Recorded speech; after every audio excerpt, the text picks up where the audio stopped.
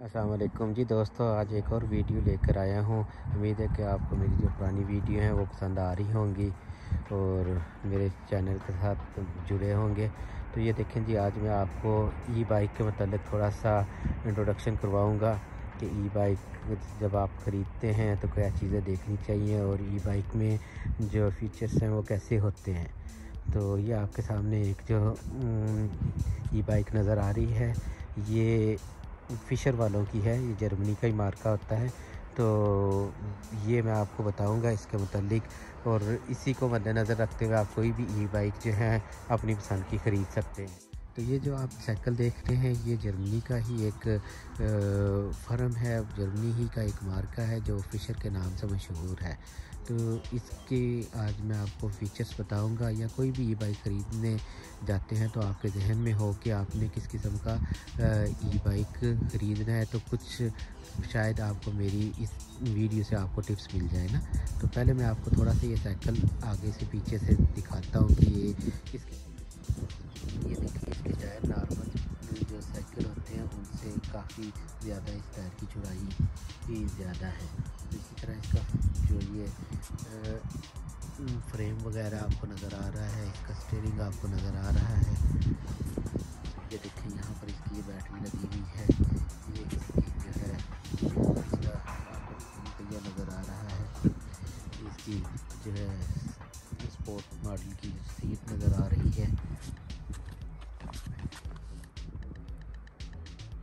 ये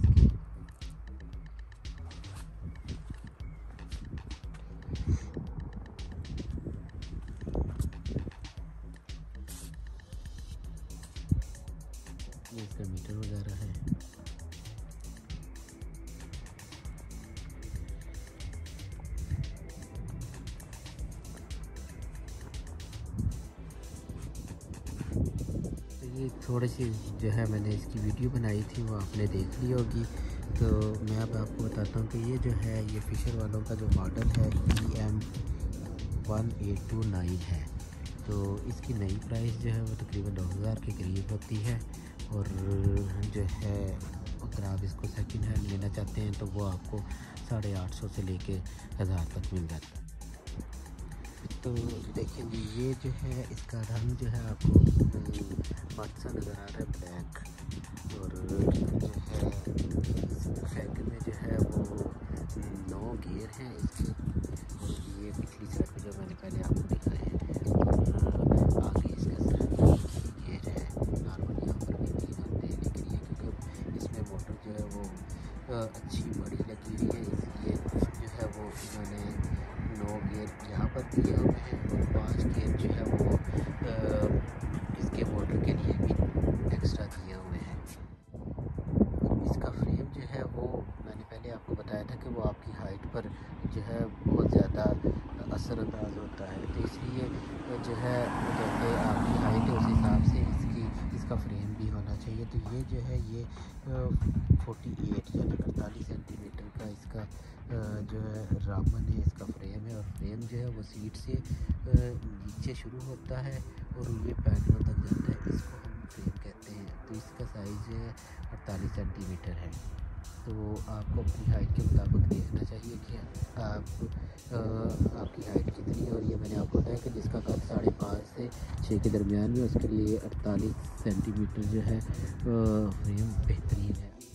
तरह जब आपने गियर वाले साइकिल का इंतखब करना है तो इसके लिए बहुत ज़रूरी है कि अच्छी फर्म से, अच्छी फैक्ट्री से बना हुआ जो मशहूर कंपनियाँ बनाती हैं गियर तो वो उनका लेना चाहिए। उनमें से एक जो है वो शिमानो है।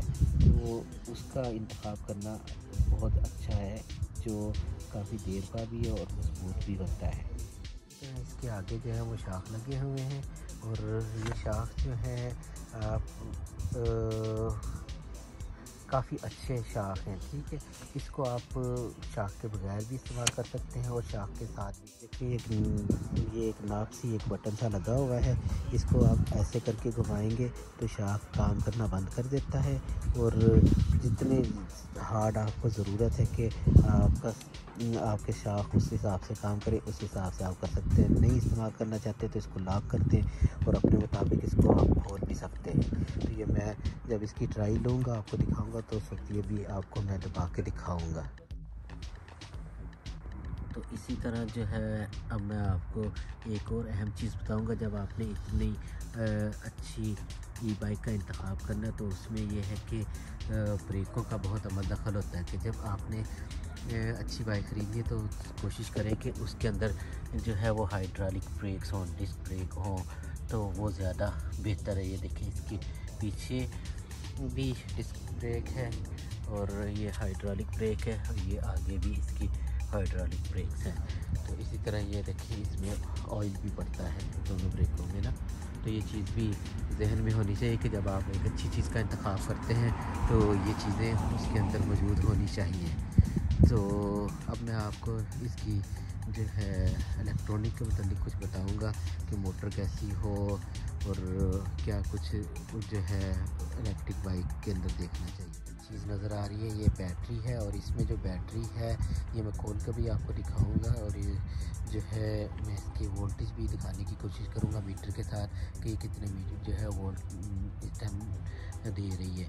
तो नॉर्मल ये जो बैटरी आपको नज़र आ रही है, ये अड़तालीस वोल्ट की है और जो है आठ कमा आठ ई एच और चार सौ बाईस डब्ल्यू एच की है।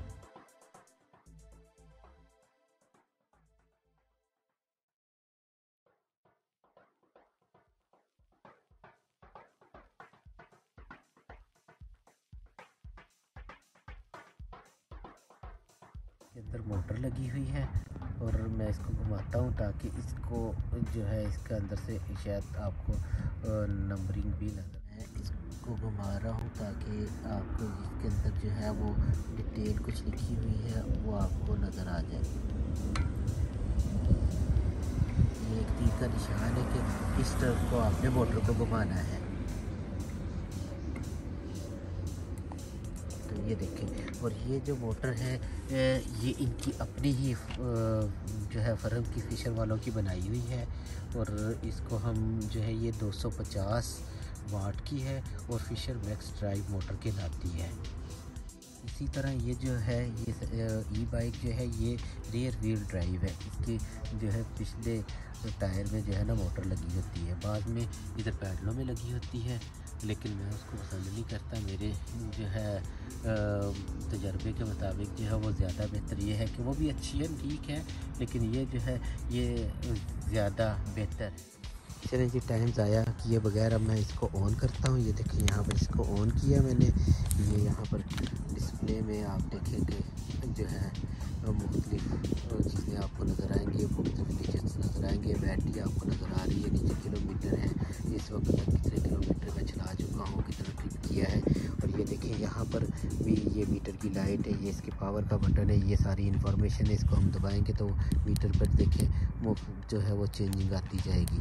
तो यहाँ पर ये सारी इसकी इंफॉर्मेशन होती हैं तो इसको आप चेक कर सकते हैं।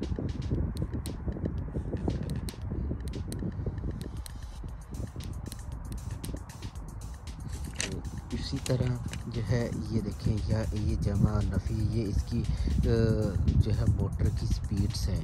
तो जब मैं जमा का बटन दबाऊँगा तो ये देखें, यहाँ पर ये उसकी स्पीड आती जाएगी कि कितनी हेल्प आपको ये जो है मोटर साथ देगी। तो ये इसकी पाँच स्पीडें हैं, और पाँच स्पीड पे ये तकरीबन छब्बीस सताईस किलोमीटर तक तेज़ भाग सकता है, और हर स्पीड पर इसकी जो है, आपको इन्फॉर्मेशन दी जाती है कि किस पे ये कितनी जो है कितने किलोमीटर चल सकता है? तो ये साइकिल जो है तकरीबन 120 किलोमीटर तक एक दफ़ा अगर आप इसको मुकम्मल चार्ज करते हैं तो 120 किलोमीटर तक आप इसको चला सकते हैं। जब आप इंतखब करते हैं तो बेहतर है कि जब आपने जो है एक अच्छी बाइक का इंतखब किया तो उसमें जो है दो तीन चीज़ें डिस्प्ले में होनी ज़रूरी हैं। तो ये देखें यहाँ पर भी इसमें जो है यू का पॉइंट दिया हुआ है। कि आप इसको जो है यहाँ पर अपना हैंडी चार्ज कर लें या आप नेविगेशन वगैरह साथ लगाना चाहते हैं तो वो लगा सकते हैं। इसी तरह इसके अंदर ब्लूटूथ की ऑप्शन है। इसी तरह आप ऐप कर सकते हैं और एलसीडी नॉर्मल ये लाइट वाली है। रात को इसके अंदर लाइट भी ऑन हो जाती है और आप इसको चला सकते हैं। तो ये देखें इस तरफ़ आपको मैंने दिखाना था कि ये इसके अपने गियर हैं, जो नो गियर हैं। और इसी तरह इधर से मैंने आपको दिखाया था, वो मोटर के ये पाँच गियर हैं। देखें जी, पहले मैंने आपको कहा था कि मैं पहले बैटरी खोल के आपको दिखाऊँगा, ये चाबी लगी हुई है, इसको ऐसे इस तरफ़ को घुमाना है और ऐसे इसको इस तरफ़ को हमने बाहर निकाल लेना है। तो ये देखें, ये बैटरी निकालने का तरीका है। इसको आप जो है घर ले जा जाके, घर के अंदर चार्ज भी कर सकते हैं और लगे हुए को भी आप चार्ज कर सकते हैं और इसको दबाएँ और आप वो बैटरी चेक भी कर सकते हैं कि आपकी बैटरी जो है वो फुल है कि नहीं है। और ये देखें, यहाँ पर इसका सारी इंफॉर्मेशन भी दी हुई है। जो मैंने आपको बताया कि ये 48 वोल्ट डीसी है और जो है इसकी जो आठ का आठ एच ए एच है पावर है जो इसकी वो है तो ये सारी डिटेल है कि अगर ख़राब हो जाए तो आपने इन चीज़ों को मद्देनज़र रखते हुए ख़रीदना होता है और यह जो इसका चार्जिंग पॉइंट है, ये बहुत ज़रूरी है कि ये आपने देखना है कि इसी पिन वाला आपने फिर ख़रीदना होता है। तो ये इसका, जो है, इसकी बैटरी है, इसको आप उतार के, जो है, रख भी सकते हैं। ये देखें, ये दो पॉइंट जमा नफ़ी के दिए हुए। तो इसी तरह ये जो इसका हिस्सा है, इसको हमने इस तरह अंदर करना होता है। और इस तरह इसको हमने जो है दबा के तो लगा देना इस तरह हम चाबी निकाल लेंगे। और ये अब बैटरी हमारी जो है वो ऑन है और हम इसको जो है इस्तेमाल कर सकते हैं। तो दूसरी चीज़ जो मैंने आपको बताई थी कि जो है वो इसके शाख है। ज़रूरी नहीं कि ये मैं आपको साइकिल दिखा रहा हूँ, लेकिन ये जनरल टिप्स हैं आपके लिए कि जो भी साइकिल आप इंतखब करना चाहते हैं, उनमें कैसी चीज़ें होनी चाहिए। आजकल ये जो फ्रेम है फ्रेम के अंदर भी उन्होंने बैटरी फिक्स दे दी हुई है। तो ये बैटरी का फ़ायदा ये है कि आप इसको उतार कर अपने घर के अंदर इसको चार्ज कर सकते हैं। तो वो जो तो जिसकी बैटरी फिक्स होती है, उसके लिए आपको जो है बिजली का इंतज़ाम करना पड़ेगा, कहाँ पर आप साइकिल खड़ा करते हैं तो वो चीज़ें सारी मद्देनज़र रखनी होती है। दूसरा ये कि चोरी होने के लिहाज से जब आप इसकी बैटरी उतार लेते हैं तो चांसेस कम हो जाते हैं। तो इसी तरह जब आपने साइकिल, ये जो है, इसमें फ़र्क ये है कि ये आपको आपके मुताबिक आप इसके साथ सेट कर सकते हैं। तो नॉर्मल यहाँ पर बंद होते हैं। तो उस आपको बता रहा था कि अब ये शाख है, इसके आपको नज़र आ रहे हैं। तो नॉर्मल शाख भी मिलते हैं, लेकिन उसको आप एडजस्ट नहीं कर सकते। तो इसमें ये खूबी है कि आप इसको अपने वज़न के मुताबिक, अपने सफ़र के मुताबिक इसको आप जो है इस हार्ड भी कर सकते हैं और नरम भी कर सकते हैं। ये देखिए, इस टाइम मैंने इसको लॉक किया हुआ है, दबाऊँगा तो ये नॉर्मल साइकिल की तरह है। नॉर्मल ये देखें। तो नॉर्मल अब इसको मैं अपने मुताबिक इसको आप घुमाते जाएँ ऐसा ऐसा ओपन करते जाएँ तो जहाँ पर आपको महसूस होता है कि वो आपके लिए सही है तो वहाँ पर आप इसको रख सकते हैं। ये देखें, अब मैंने इसको दबाया है तो ये मैंने अपने मुताबिक इसको कर दिया है इसको, और इसकी मैंने मैक्सिमम स्पीड पे इसको कर लिया है, और अब हम इसकी ट्राई लेंगे।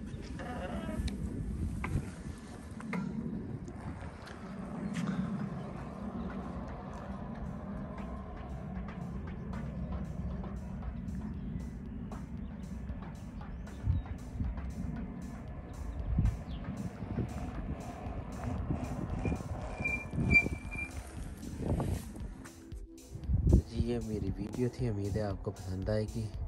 तो मिलते हैं किसी और वीडियो के साथ। असलकुम